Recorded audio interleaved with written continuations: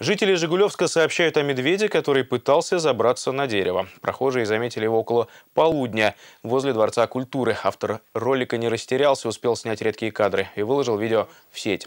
О том, откуда мохнатый путешественник в городе, спорили сотни интернет-пользователей. Однако, как выяснилось позже, хозяева оказались рядом.